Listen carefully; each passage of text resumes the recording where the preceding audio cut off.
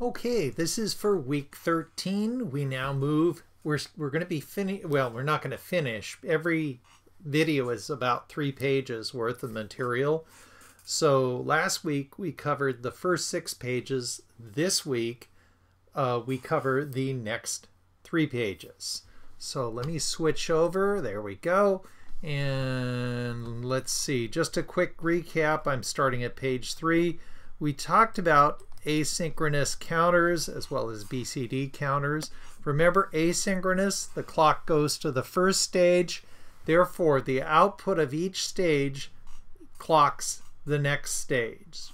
That's a, so basically we have a ripple that occurs. Asynchronous counters and ripple counters uh, are the problem, are the issue, uh, which sometimes it doesn't matter. Human beings too slow to notice the difference. Uh, but they asynchronous counters can never be as fast as synchronous counters. We talked about synchronous counter. The clock is connected to every stage in a synchronous counter. So here we see the clock line. It goes in here. It goes, oh, let me erase that? In here. It goes in here. It goes in here. And the secret behind it is when J and K are zero, there will be no change on Q and not Q. But when J and K are 1, Q changes to the opposite state and Q is the opposite, not Q is the opposite state. So it toggles. So you using these guys, both J and K0, J and K1, you can choose whether a stage toggles or not.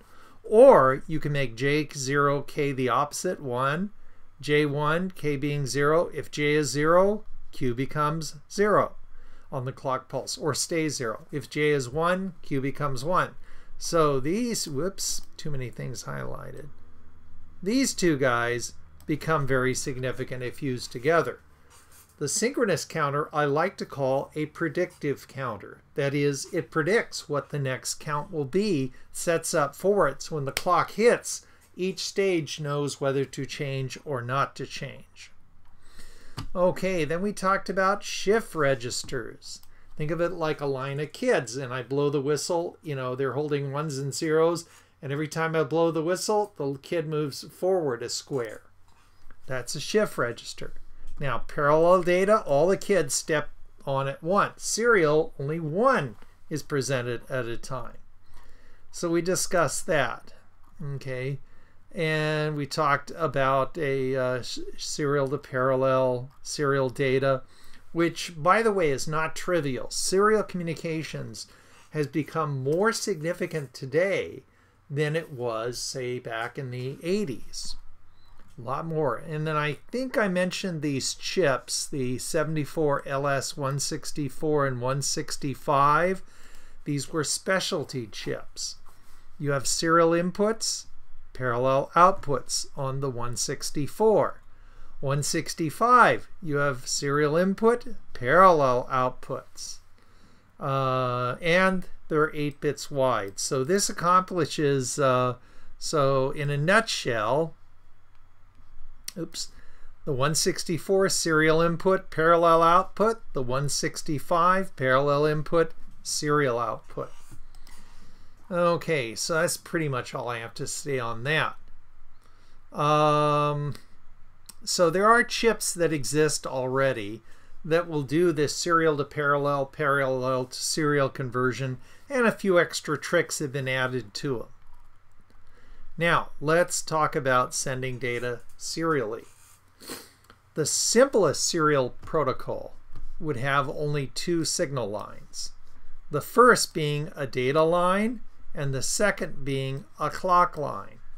So we could have a 74S165 parallel to serial chip in which we load the, the data from the processor onto the chip, clock it out, and that's the transmitting end. At the receiving end, we have the 74LS164, which takes serial data, converts it to parallel.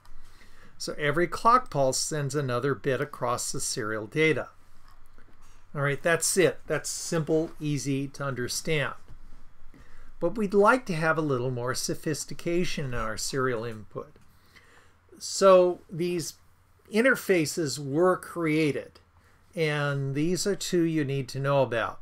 SPI, um, the serial interface. It's a the SPI serial interface. It's a simple but effective means of talking to several devices on the same bus. The idea is you have all these receivers along the line. And uh, unfortunately, I don't like that. Nowadays, the terminology is not politically correct, but we have to use the terminology that was created. The receivers, rather than calling receiver 1, receiver 2, which is what they really are, they're referred to as slave 1, slave 2, and the transmitter is master. All these terminology came back from the days when we were not so politically correct. But the master transmits a stream, and the receiving devices called slaves, you can have several of them, you know, not just two, five, six, twenty of them if you like. And the we use a line called chip select to say, hey, I am talking to you. Everybody else ignore this stream of data and only the device I'm talking to will receive the stream of data. So the names, the terminology, for example, master out, slave in, that's the, the uh, data line coming from the master. Uh, oh, I'm sorry, master in, slave out. Helps if I read. That's reading the data from the receiving, uh, from the uh, device, the external device. Maybe receiver is misnomer here. Okay, master in, slave out. It sends data into the master. Master out, slave in. There we go. It's uh, is to transmit from the master to the slave device, and of course a serial clock. We have number of different chip selects, sometimes called slave select, to determine which chip we are talking to. So basically, uh, whenever that line goes low, it's called active low. So if this line is high, this guy ignores everything. If this guy is high, this guy ignores everything. So I want to talk to number two. I will drop the pin for CS2 low. Now this particular chip goes, oh, you're talking to me. This guy goes, I don't care. So we send the data to this, we receive anything back. It's very nice. Okay. What's the advantage of SPI? And SPI is everywhere. It's so simple to do. Okay, well, first of all, it's faster than I squared C, and that's referred to as not I2C, but I squared C, meaning, um, anyway, uh, the receive hard hardware can be like really, really simple, just like a shift register, you know, ding, this guy. Uh, you can have many, many slaves. How many would you like? How many chip select pins would you like to have? So it's a very simple protocol. It's easy to work with. It's been around for a long time. Disadvantages. Mm, yeah. Okay, we have to have more signal lines or wires uh, than other communication techniques or, or methods. Uh, this one I think I got to remove from the list because it's one of those the things. The communications must be well defined in advance. You can't send random amounts of data whenever you want. Now, this well defined communications applies to everybody. Uh, you just, uh, well, almost everybody. So you know, certain things have to be well defined, and so that's a rather ambiguous disadvantage. Okay. The master must control all communications.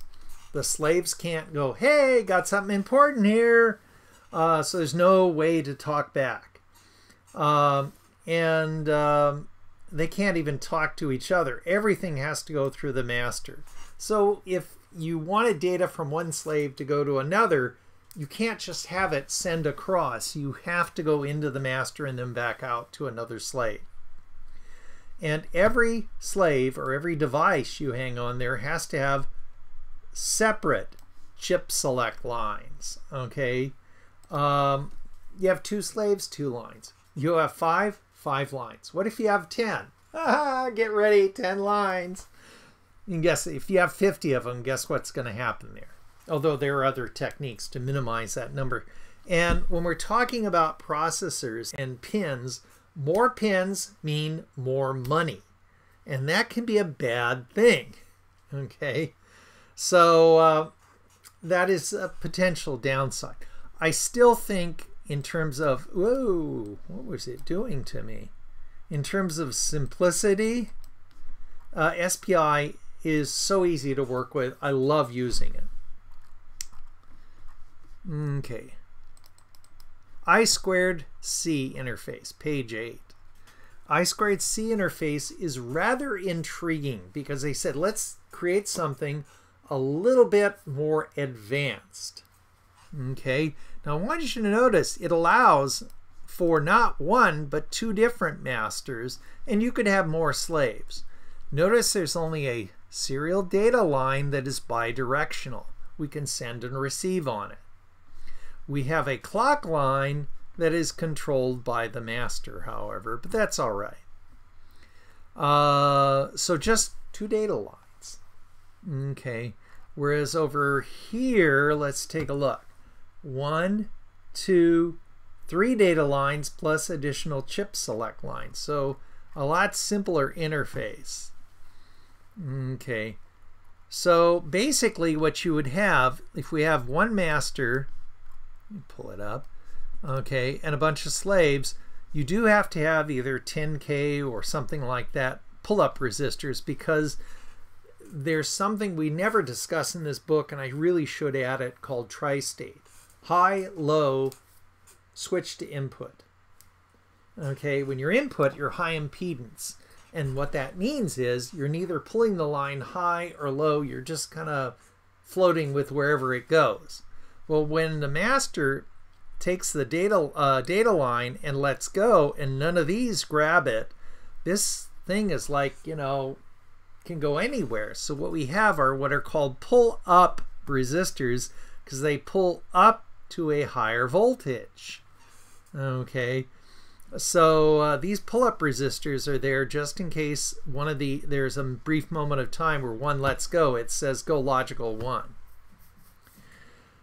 Now the way we communicate with I squared C is we have both an address and a data on the serial line. Okay, and so what's what this means is uh, whenever we talk to a device, every device has an address. Think of it like a phone number. In this case, the most basic address system is only 7 bits long. From 0000000, 7 bits, to 11111111, 7 bits again. So from 0 to 127. The uh, expanded version uses a 10-bit address. Now, the 7-bit, 128 devices, because 0 counts. 10-bit, 1024 devices. Okay, very large number of devices. Um, the problem here is the protocol can become a bit more complex. Generally, we connect them to a microprocessor or microcontroller device because there's a complex set of rules to how we communicate. So it's like, I want to talk to this guy here, slave number two. So it has a binary number. So I have to start by transmitting, hey, binary num number, whatever it is. It's like dialing the number. It picks up the phone, hello, now I can communicate. And then when we're done, it lets go. Okay, so whether it's a 7-bit binary or 10-bit doesn't matter. They all have a unique number. Now, you cannot have two slaves with the exact same number. This is a great test question. On I squared C, can two slave devices have the exact same number? Well, they could, but could also drive your car into a brick wall too, you know, but that's not a good idea either. When they have the same number, guess what? They both respond and you get gobbledygook and nothing works. So everything has to have a unique number. So manufacturers, when they make chips, they usually have a few extra pins to define well, you can have this number, this number, or this number. So if you have two pins, they've been able to go, well, you can have four possible numbers. Take your pick. Um, and things like that. Three pins, you could have eight possible numbers so that you can kind of dial up some unique set of numbers. But as you add these slaves, you got to make sure you don't have an addressing conflict. Okay, which adds to the set of complexity. Okay, so that's I squared C. We really don't get it heavily into it. Just be aware that these two exist. All right, continue on page 8. We get to RS-232, sometimes known as RS-232C. I love it because it is the granddaddy of serial data. How far back does it go? All the way back to the 1960s. And you'll notice that we've talked about a separate clock line and then a data line. Okay, here with I squared C and here with SPI. We have the clock, we have our data lines. RS-232 came along and said, what if one line could serve both purposes?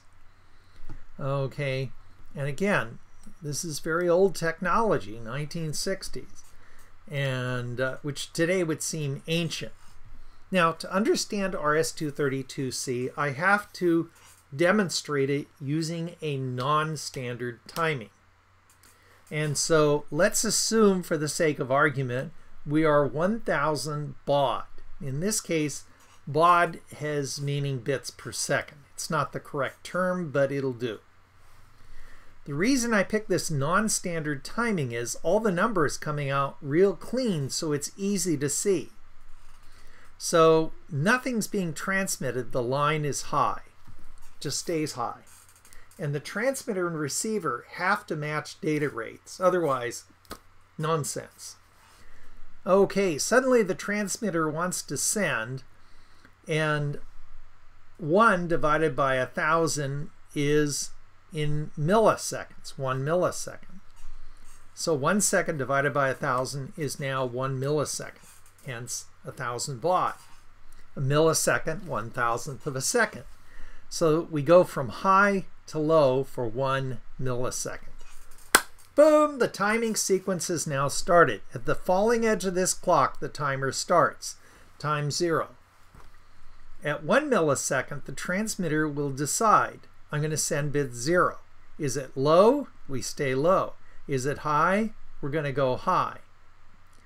Now the receiver at 1.5 milliseconds, right here in the middle, these little tick lines I made, they're very significant right here is the significant point because if it's in the middle, we have a little bit of wiggle room to the left and to the right.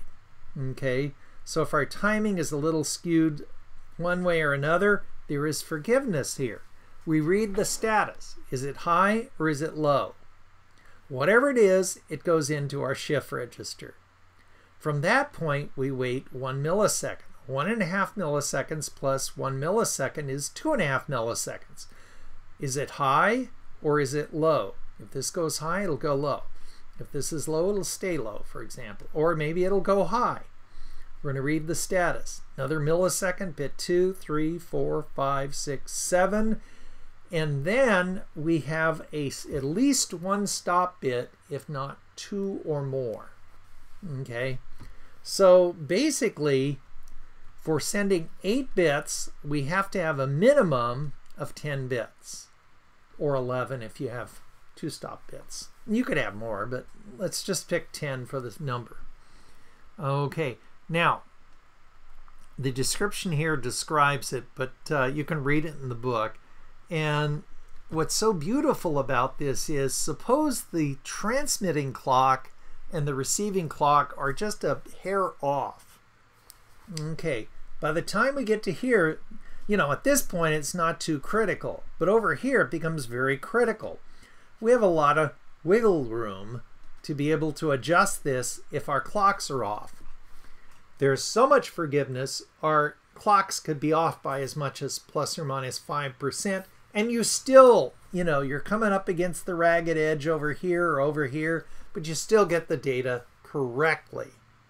Okay, now it was in the 80s they began to improve on the technology and they found that, you know, like in this case, a thousand baud, half a millisecond, if there's a transition and you find it's happening earlier or later, you want to kind of readjust your clock uh, correctly. So every time a transition occurs, the receiving end can ad adapt its clock and allow for more timing errors. Although I got to tell you, nowadays, with uh, even with RC circuits, um, this is like you didn't have to use crystal controlled.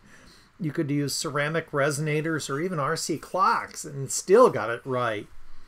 Um, so anyway, the uh, the receiving device it can be either 5% fast or 5% slow, and it's close enough you'll get it right. What if we were beyond that? Well, you could be go to read bit 7, and if you're too early, you might read bit 6, or you might read the stop bit. That's called a framing error. Uh, you missed your frame of data. Okay, but usually nowadays that's rarely we think about it. So anyway, uh, in the early days of RS-232, they weren't using TTL levels. They were using much higher voltage swing, anything from plus 3 volts to plus 15 volts. But minus 3 to minus 15 was also used at one logic state the other. Big, big voltage swings because this might go through 50 feet of cable twisted pair wire. And they needed a really strong signal so the noise wouldn't interfere. Now, oddly enough, you might think plus 15 plus 3 is logical 1 and minus 3 minus 15 is logical 0. But they actually decided that the plus voltage would be 0 and the minus voltage will be 1. You're probably going, and why is that? Well, because they were, you know, in the 60s, things had to be kept simple and a transistor inverted the signals. So they said, even though logic, you know, it was 1 and 0, the transistor flipped it around. So we'll just go with negative logic for transmission and use another transistor to flip it around correctly. Okay, so uh, basically, uh, page 9. So nowadays, um, we still could use those higher voltages. We rarely use it for long distance. Um, it's weird, but you know, I, I look at a chip that just came out of microchip, and uh, you'd think something from the 60s would be so obsolete nobody would use it anymore. But even to this day, brand new chips never existed before have RS-232 support. Why? Because it solves a simple problem and it does it so elegantly. So RS-232 support is going to be around for quite a while because like a lot of stuff is using it. Now this serial communication is typically done on a circuit board between chips. And so as a result, we're not using the you know, the plus 3 to plus 15 and minus 3 to minus 15. We're we're typically using TTL levels. Now, the bit rates, meaning how fast we transmit every bit, and remember it takes 10 or 11 of these, I'm going to use 10 for my for example, to transmit. The low end was 75 bits per second, which means 7.5 characters, 8-bit characters. Um, the, the high end originally was 9600, again divided by 10, 960 characters per second or less. Okay, I think 19200 was part of the uh, original high end too. I forget exactly where they cut it off. And that's where it would have stopped. IBM created the PC computer. And on the PC computer, um, basically they were using a chip that had a divide by counter to determine the baud rates. And so I think it was you had to divide by four or something to get that, uh, or eight or whatever it was. And somebody raised the stupid question could I get these higher rates by doing maybe a, a divide by three or divide by two or something like that on the counter? And lo and behold, it worked. It wasn't supported in the software. But guys, you know, we had some good hackers in those days. They knew how to do it. And uh, voila, turns out the hardware on the IBM PC and all the clones, because we copied them exactly, could support this higher rate. Well, think about it. You drop that by 10, that's 11,520 characters per second, assuming 10 bits instead of 11 bits. Uh, and it sort of became the de facto standard. Nobody voted on this. Nobody chose this. This just sort of happened because everybody loved the higher baud rates, and so we went for it. Now, I have to tell you, historically, the term baud was representing the number of signal changes per second. Sometimes a signal change could represent one bit, or two bits, or maybe even three. Um, but what happened is people began to misuse the term. So nowadays, when you say, oh, the baud rate is this, it really is bits per second, but we all understand anyway. Okay, now think about this. Uh, even at the top speed, how long would it take for me to back up a one terabyte bit? Oh, you stupid thing. Yeah, you all want to know about my contacts password. Uh, anyway, um, basically years. it's not going to do for large quantity of data. So even though this is uh, older technology uh, and suffers from many limitations, it's still in use today. Now, it's interesting to know that even though the computer technology is upgraded to USB, um, RS-232 sometimes is interconnected to that. Uh, so it's still around. It still finds its place. Okay, so if I ask you about the granddaddy of all technologies, it is who else? RS-232, and it goes back to the 1960s when it was first created. All right, we are just going to have an introduction to state machines. And uh, prior to the microprocessor, if you had to do a very complex series of tasks, you would use a state machine. And the best way to explain the concept of a state machine is an elevator.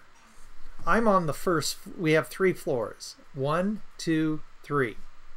Okay, we're going to keep this elevator simple. It goes up to the top floor, it goes down to the bottom floor, and it does it in this pattern. Yes, I know there are other possibilities with an elevator, but let's just keep it simple.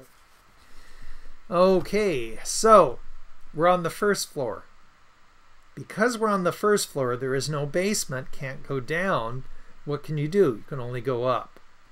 You're on the second floor, but your variable up has said we got to go up. You have to go to the third floor. You're on the third floor, you can't do anything but go down. So the variable up has to be set to zero. So you go down. You're at the second floor. The variable up is saying down. You can't go up, but you have to go down. You're on the first floor. The variable up set to one, and it goes up. So you're in one state, and you move to the next state. That's the concept behind a state machine. Okay, you're moving from one state to the other. Now, it really is easy to understand this from the diagram. But uh, if we look at it from a standpoint of the truth table, um, like for example, there's a 0, 0 for floors right here. Oops. And here. Okay. There is no basement. It's an invalid state.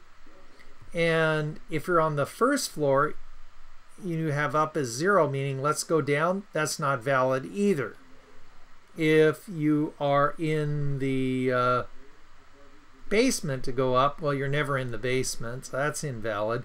If you're on the third floor, here we go, and you want to go up, again, that's invalid. But we're on the first floor. Where do we go next? Well, up is going to be 1. We're wanting to go to the second floor. We're on the second floor. Where do we go next? The third floor, at which point up will be 0 we're on the third floor, or I'm sorry, we're on the